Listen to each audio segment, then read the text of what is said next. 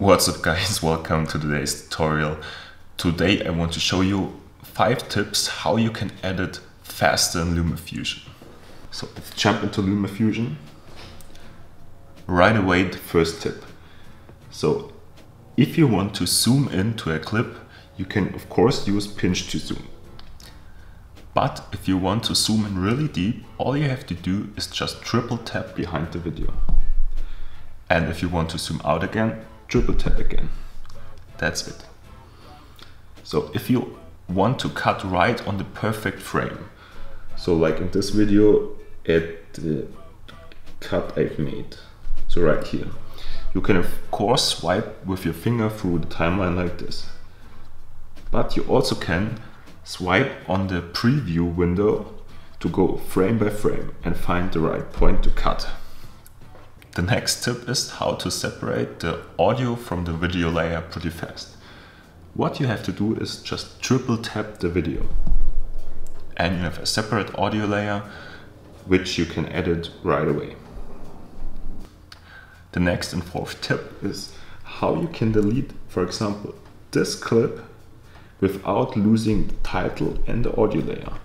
So what you have to do is select the title and unlink it.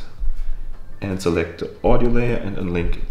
And you can delete this clip without losing the title and the audio layer.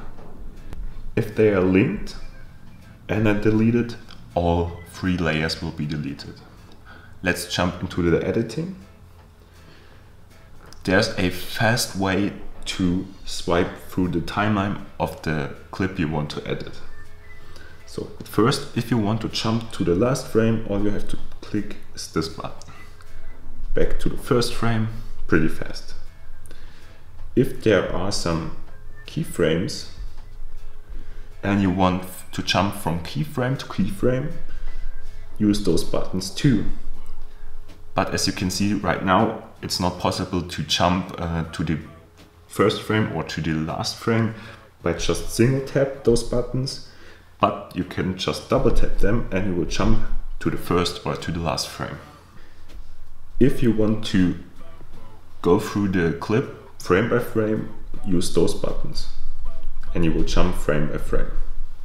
So these are my five tips to edit faster in LumaFusion. I hope you've enjoyed the video. If you have enjoyed it, give thumbs up and subscribe to my channel and we'll see each other next time guys. Bye.